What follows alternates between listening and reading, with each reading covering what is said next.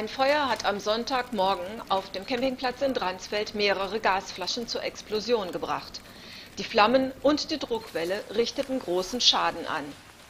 Menschen wurden zum Glück nicht verletzt.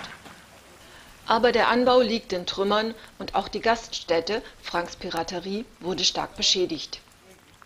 Feuerwehrleute aus Dransfeld, Fahrlosen und Jünde waren schnell zur Stelle und verhinderten Schlimmeres.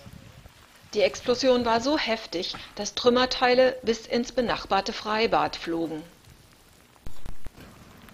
Trümmerteile liegen auch überall auf dem Spielplatz. Die Rutsche ist durch die Hitze geschmolzen. Mit Planen decken die Feuerwehrleute das beschädigte Dach des Restaurants ab. Drinnen war schon alles festlich geschmückt, aber das Weihnachtsessen hier wird ausfallen.